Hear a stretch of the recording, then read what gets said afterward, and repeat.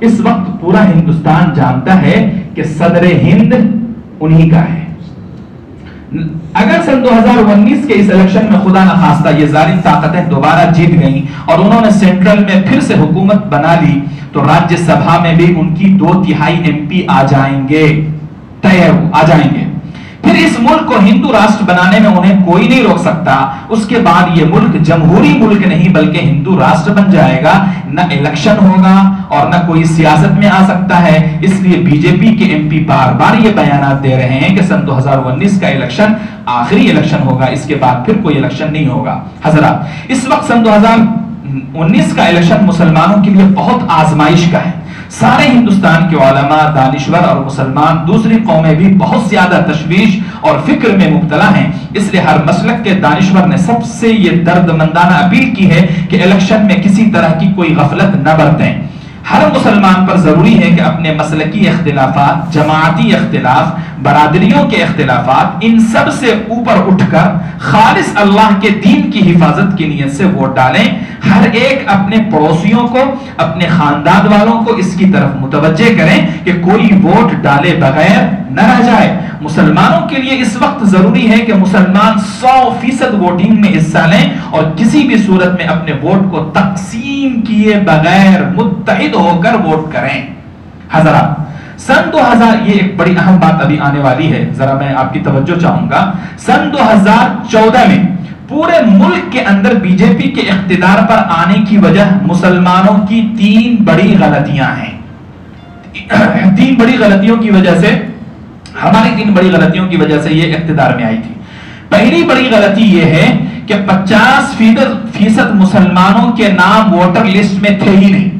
سن دو ہزار چودہ میں پچاس فیصد مسلمانوں کے نام ووٹر لسٹ میں نہیں تھے، غائب تھے۔ اور مسلمانوں نے اس بات کی کوشش بھی نہیں کی کہ اپنے نام ووٹر لسٹ میں اندراج کرائیں، جس سے معلوم ہوتا ہے کہ مسلمانوں نے ووٹر لسٹ میں نام اندراج کرانے میں بڑی غفلت سے کام لیا ہے۔ اس کے بعد مسلمانوں کی دوسری بڑی غلطی یہ ہے کہ پچاس فیصد ووٹوں میں بھی مسلمانوں نے بہت کم پولنگ کی۔ کہیں چالیس فیصد پولنگ ہوئی تو کہیں پچاس فیصد پولنگ ہوئی۔ اس طرح مسلمانوں کے ووٹ اور بھی زیادہ کم ہو گئے۔ ایک تو پچاس فیصد ہی تھا۔ اس میں بھی کم سے کم پولنگ ہوئی، کم سے کم لوگ جا کر کے ووٹ ڈالے۔ اس میں بھی اور وہ کم ہو گیا۔ اور تیسری چیز تیسری بڑی غلطی یہ ہوئی کہ پولنگ شدہ ووٹوں کو مسلمانوں نے مسلکوں کی بنیاد پر، برادریوں کی بنیاد پر، جماعتوں کی بنیاد پر، سیاسی پارٹیوں کی محبت و وفاداری کی بنیاد پر تقسیم کر دیا۔ ہمارے سارے ووٹ تقسیم ہو گئے۔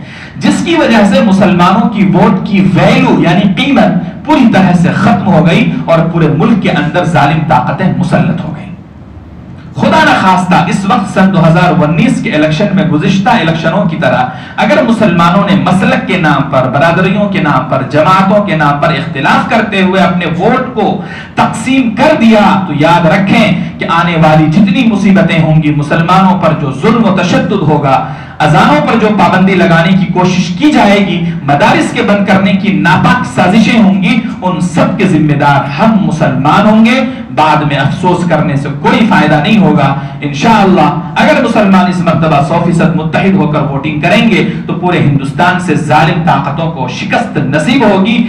سسکتے ہوئے بچوں کو، روتی ہوئی عورتوں کو، اس بلکتی ہوئی امت کو چین نصیب ہوگا۔ لہذا مسلمانوں کو چاہیے کہ اس وقت کسی کو جتانے یا اپنے تعلقات والوں کی حمایت میں ووٹنگ کرنے کے بجائے ظالم طاقتوں کو ہرانے کی نیت سے ووٹنگ کریں گے۔ ہم تمام مسلمانوں سے امید کرتے ہیں کہ الیکشن کے پورا ہونے تک ہر دن دعاؤں میں مصروف رہیں گے کہ اللہ تعالیٰ ظالم طاقتوں کو شکست دے۔